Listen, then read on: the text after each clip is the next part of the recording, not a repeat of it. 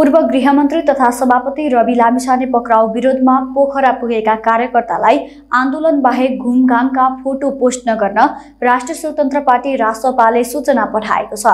आन्दोलन बाहेकको पोस्ट राखे कारवाही गरिने समेत बताइएको छ।